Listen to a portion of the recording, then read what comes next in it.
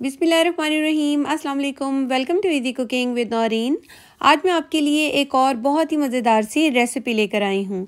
हलवा पूरी के साथ खाए जाने वाले नरम जूसी और दानेदार सूजी के हलवे की रेसिपी आज मैं आपके साथ शेयर करने जा रही हूँ, जो कि सिर्फ़ 10 मिनट में बनकर तैयार हो जाता है। बहुत ही दानेदार और मज़ेदार सा आज हम ये हलवा बनाकर तैयार करेंगे। परफेक्ट रेशो के साथ आपको ये पूरी रेसिपी बताऊँगी। रेसिपी को फुल वॉच कीजिएगा और अगर अभी तक आपने मेरे चैनल को सब्सक्राइब नहीं किया तो वो भी कर लीजिएगा। आइए अब हम अपनी मज़ेदार सी रेसिपी को बनाना शुरू करते हैं। यहाँ पर मैंने एक पैन लिया है और अब हम इसके अंदर सबसे पहले ऐड कर देंगे एक कप देसी घी। मैं देसी घी का इस्तेमाल कर रही हूँ। आप चाहें तो कोई भी घी का इस्तेमाल कर सकते हैं या फिर ऑयल का भी इस्तेमाल कर सकते हैं। पिघला हुआ देसी घी है। जब भी आप घी का इस्तेमाल करें तो उसको ओवन में रख कर थोड़ी देर के लिए उसको जो है आप मेल्ट कर लें और उसके बाद इस्तेमाल करें। जितना आप घी लेंगे, उतनी ही आपने सूजी लेनी है। यानी कि जितनी आपकी सूजी होगी, आपने उतना ही घी ऐड करना है। अभी आपको लगेगा कि घी ज़्यादा है। जैसे जैसे आप इसको मिक्स करते जाएँगे तो सूजी के अंदर घी मुकम्मल तौर पर जज्ब हो जाएगा। ये देखिए कुछ इस तरह से। और लो फ्लेम पर हमने सूजी की भुनाई करनी है। हमने तकरीबन छः से सात मिनट सूजी की भुनाई करनी है। अच्छी तरह से हमने लो फ्लेम पर इसकी भुनाई करनी है। हमने चूल्हे की फ्लेम को तेज़ नहीं करना, वरना सूजी का कलर चेंज हो जाएगा तो जो कि हमने नहीं करना।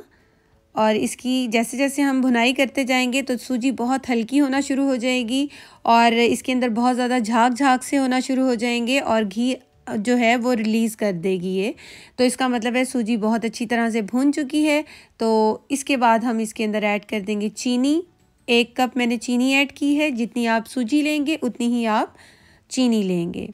चीनी को अच्छी तरह से सूजी में मिक्स कर देंगे। और चूल्हे की फ्लेम इस वक्त भी लो ही है। हल्की आँच हमने रखनी है और चीनी को भी सूजी के अंदर बहुत अच्छी तरह से मिक्स कर देना है। इस तरह से जो चीनी है वो जलेगी नहीं और कलर भी नहीं चेंज होगा। और जब चीनी जो है बहुत अच्छी तरह से मिक्स हो जाएगी तो हम इसके अंदर पानी का, पानी को ऐड करेंगे। मैंने जितनी सूजी ली है उसका तीन गुना यानी कि तीन कप पानी ऐड किया है। एक कप सूजी थी तो तीन कप पानी ऐड किया है। अभी आपको लगेगा कि इसके अंदर पानी ज़्यादा है, लेकिन बिल्कुल भी नहीं है ऐसा। आप जैसे जैसे इसको पकाते जाएँगे, हमने चूल्हे की फ्लेम इस टाइम मीडियम कर देनी है और इसको पकाना शुरू करना है। और थोड़ा सा मैं यहाँ पर इलायची का पाउडर ऐड कर रही हूँ और थोड़ा सा मैंने फ़ूड कलर डाला है। फ़ूड कलर टोटली ऑप्शनल है। अगर आप नहीं डालना चाहते तो इसको स्किप कर दें। दोनों चीज़ों को अच्छी तरह से मिक्स कर देंगे और मीडियम टू हाई फ्लेम पर अब हमने हलवे को पकाना है। तीन से चार मिनट लगेंगे इसको इस तरह से पकाते हुए और ये मज़ेदार सा, ये देखिए, हलवा बनकर इस तरह से तैयार होगा। और जैसे ही ऑयल जो है रिलीज़ होना शुरू होगा तो आपने जो है चूल्हे की फ्लेम हल्की कर देनी है।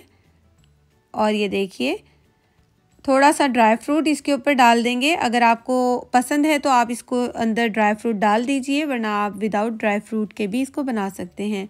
हमारा ये मज़ेदार सा हलवा बनकर तैयार हो गया है। ड्राई फ्रूट डालने के बाद मैंने चूल्हे की आँच मुकम्मल बंद कर दी थी और ये मज़ेदार सा हलवा जो है बनकर तैयार हो गया है। पूरियों के साथ तो बेहद लजीज लगता है। बहुत ही मज़ेदार रेसिपी है। इसको ज़रूर ट्राई कीजिएगा और मुझे अपना फ़ीडबैक दीजिएगा। थैंक्स फॉर वॉचिंग अल्लाह हाफिज़।